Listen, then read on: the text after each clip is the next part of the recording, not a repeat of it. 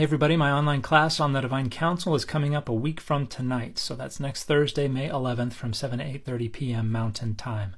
Going to do a 1-hour presentation over Zoom. Going to talk about the Divine Council in Mesopotamia in Canaan, the earliest layers of the Divine Council in the Bible, how it was changed when the prophets began to assert that they stood within the Divine Council, how it further changed when the Judahites found themselves outside of Adonai's inheritance but still needed to access God's presence. We'll talk about how it changed in the Greco Roman period.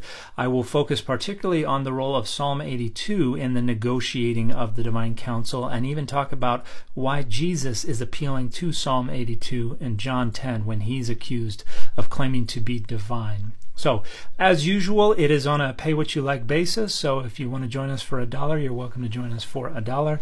And as usual, everyone who signs up for the class will get a link to download the recording of the class afterwards. So, you can go to mcclellan.org for more information and to register. And you can also find there the recordings of my previous classes on Adonai and El, on homosexuality in the Bible, on the development of the concept of Satan, the biblical canon, and the Israelite goddess Asherah.